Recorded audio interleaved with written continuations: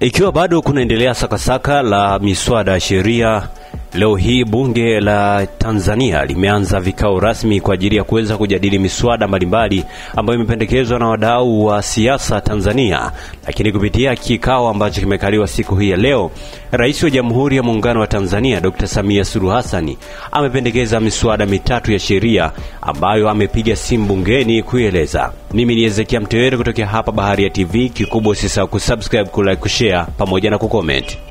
Ambayo inatolewa chini ya kanuni ya 39 fasili ya kwanza ya kanuni zetu za kudumu za Bunge.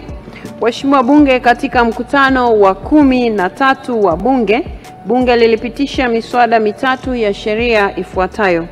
Kwanza ni mswada wa sheria ya marekebisho ya sheria mbalimbali za sekta ya sheria wa mwaka 2023 yani the Legal Sector Laws Miscellaneous Amendments Bill 2023.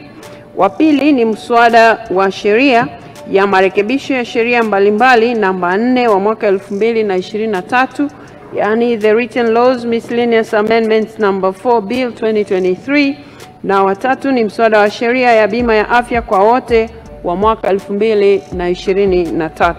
Waheshimiwa wabunge, napenda kuliarifu bunge hili tukufu kuwa tayari miswada hiyo mitatu imepata kibali cha Mheshimiwa Rais wa Jamhuri ya Muungano wa Tanzania Mheshimiwa Dr. Samia Suluhu Hassan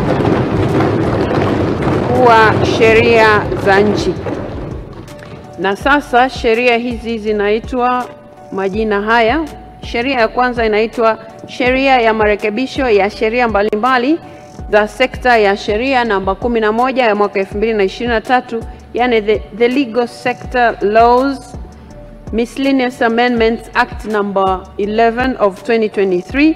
Ya pili inaitwa sheria ya marekebisho ya sheria mbalimbali namba 4 sheria namba 12 ya mwaka 2023 yani the Written Laws Miscellaneous Amendments number 4 Act number 12 of 2023 na ya tatu inaitwa sheria ya bima ya afya kwa wote namba 13 ya 2023. Mheshimiwa Bunge, hiyo ndio taarifa tulionayo.